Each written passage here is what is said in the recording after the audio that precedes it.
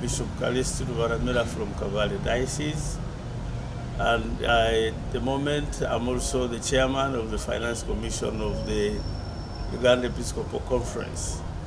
First of all, I'd like to thank each and everyone who has contributed to the realization of this project so that this TV can go on the air.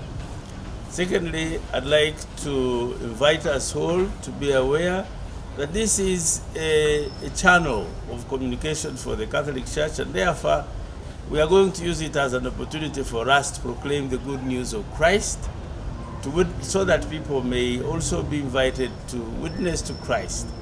At the same time, it's also an opportunity to share with the public the ordinary news. So we'll use it for the double purpose, and we pray that you kindly Uh, avail yourselves to watch this television so that you may listen to the good news of Christ.